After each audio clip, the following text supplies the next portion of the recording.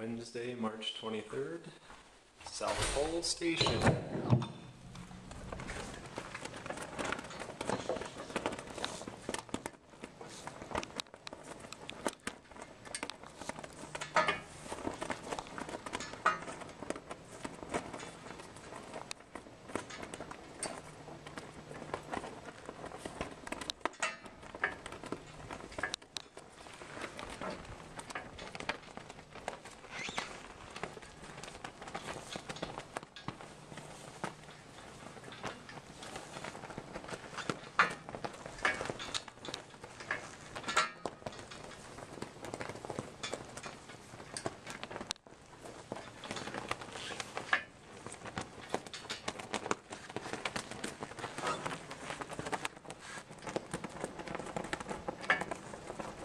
Minus 76 degrees or thereabouts.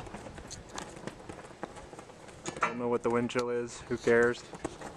It's cold.